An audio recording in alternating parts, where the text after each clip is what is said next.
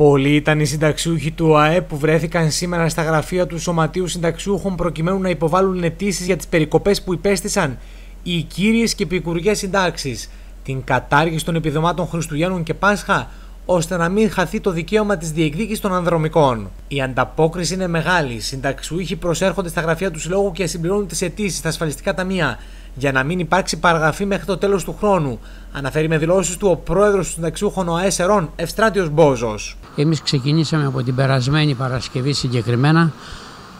Εκτυπώσαμε το έντυπο αυτό της ετήσεως, το οποίο θα σας το δείξουμε, μπορεί να το δει και ο κόσμος. Εμείς το έχουμε εδώ. Έρχεται ο κόσμος μας, στα μέλη, τα εγγεγραμμένα μέλη φυσικά εξυπηρετούνται πρώτα και μετά όσοι δεν είναι εγγεγραμμένοι μπορούν να κάνουν εγγραφή για μας στοιχίζει μόνο η εγγραφή που κάνουν 10 ευρώ και από εκεί και πέρα δεν έχουν συνδρομή να πληρώνουν ετήσια. Μην νομίζουν γιατί πολλοί συνάδελφοι συνταξιούχοι νομίζουν ότι θα έχουν ετήσια συνδρομή. Ετήσια συνδρομή δεν έχουμε. Πληρώνουν μόνο την εγγραφή.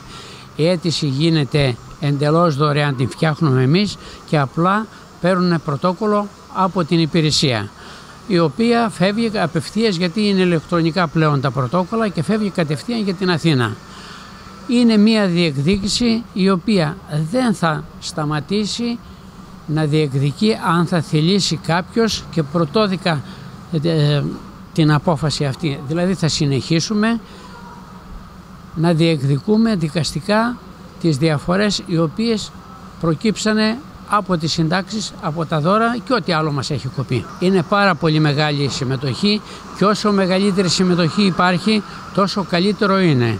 Άρα λοιπόν εμείς καλούμε τα μέλη μας να έρθουν από εδώ, να ενημερωθούν αν θέλουν πρώτα και στη συνέχεια να τους γίνουν και αιτήσεις. Χρειάζεται να έχουν μόνο το αφημί τους και το άμκα. Δεν χρειάζεται τίποτε άλλο για τα εγγεγραμμένα. Για τα μη εγγεγραμμένα θα φέρουν και την ταυτότητά τους για να κάνουν την εγγραφή στο σωματείο.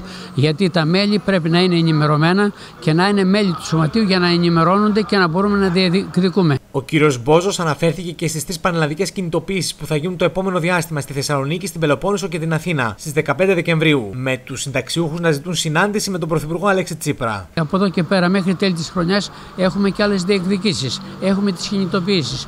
Ήδη 30 του μηνός έχουμε την πρώτη σύσκεψη στη Θεσσαλονίκη και στις 13 του Νοέμβρη έχουμε την συγκέντρωσή μας η οποία ξεκινάει από Λάρισα μέχρι Οριστιάδα θα γίνει στη Θεσσαλονίκη. Στις 15 του μηνός θα γίνει στην Αθήνα η συγκέντρωση από Λαμία και κάτω και τον Δεκέμβριο, αρχάς Δεκεμβρίου, ημερομηνία ακόμη δεν έχουμε συγκεκριμένη, θα έχουμε πανελλαδική συγκέντρωση διαμαρτυρίας να διαμαρτυρηθούμε για όλα αυτά και για τον νόμο του Κατρούγκαλου που το 43-87 τον περιβόητο να μην εφαρμοστούν οι περικοπές μας αλλά να διεκδικούμε όμως και ό,τι μας κλέψανε. Αισιοδοξία υπάρχει ότι θα τα πάρετε πίσω αυτά τα, τα, τα οποία τα έχουν παρακρατήσει παράνομα. Είπαμε, η ελπίδα πεθαίνει τελευταία. Γι' αυτό λοιπόν και εμείς κάνουμε αυτόν τον αγώνα, έστω και δικαστικά, αλλά ακόμη και στους δρόμους.